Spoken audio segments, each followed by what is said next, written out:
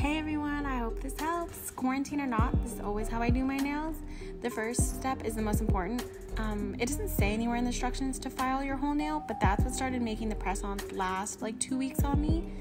Then just apply a little bit of glue. When you put too much and you press it like this for it to dry, it starts to like seep out of the sides and get messy. If you do that to them all and you like pointy nails, then you're done.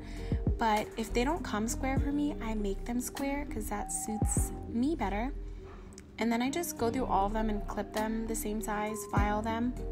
I'm not picky about where I get these press-ons from. I got these from Amazon, some of them from like the drugstore or whatever.